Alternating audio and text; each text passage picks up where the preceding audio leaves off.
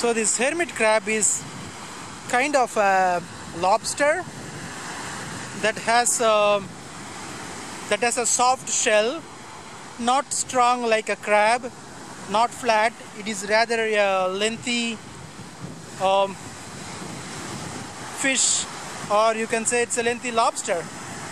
A small one with tender skin, so it uses the conch as a shell for him.